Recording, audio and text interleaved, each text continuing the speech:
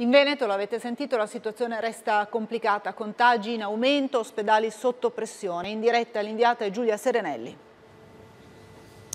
Esatto, li avete sentiti i dati della situazione sanitaria in Veneto, oltre 4.000 nuovi positivi, ma c'è da dire anche a fronte di oltre 52.000 tamponi effettuati tra molecolari e rapidi. E proprio per evitare un inasprimento di questa eh, situazione, da domani entrerà in vigore l'ordinanza regionale che vieta la mobilità tra i comuni a partire dalle ore 14, ordinanza che sarà in vigore fino al 6 gennaio. Dicevamo la rete ospedaliera è sotto pressione, soprattutto a Verona, eh, ma anche Padova è una delle province più colpite. Qui l'azienda ospedaliera ospedaliera ha deciso di aprire le porte però all'ingresso in terapia intensiva ai familiari eh, delle persone ricoverate. Ce ne parla Ivana Godnik.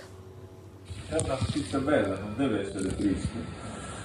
Finora le notizie in merito ai pazienti ricoverati in terapia intensiva positivi al coronavirus venivano date soltanto al telefono attraverso i tablet. D'ora in poi all'ospedale di Padova hanno deciso che in casi estremi, quando il congiunto contagiato da SARS-CoV-2 è ricoverato in rianimazione in fase terminale, un familiare potrà entrare per dargli l'ultimo saluto.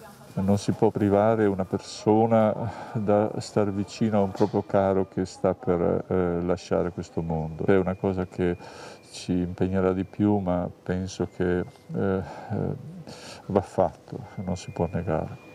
Il dottore Eugenio Serra, caporeparto di una delle terapie intensive padovane, negli ultimi mesi di drammatici addii a distanza ne ha vissuti parecchi, come anche Michela Marca, coordinatrice infermieristica, che in merito all'apertura, alla decisione di concedere l'ultimo saluto in presenza non ha dubbi. Sarà impegnativo per noi perché dovremo accompagnarli, vestirli, tamponarli, i parenti, quindi c'è una procedura in essere molto impegnativa anche per noi, però eh, siamo disposti perché è giusto che i familiari possano essere vicino soprattutto nel fine vita. Znači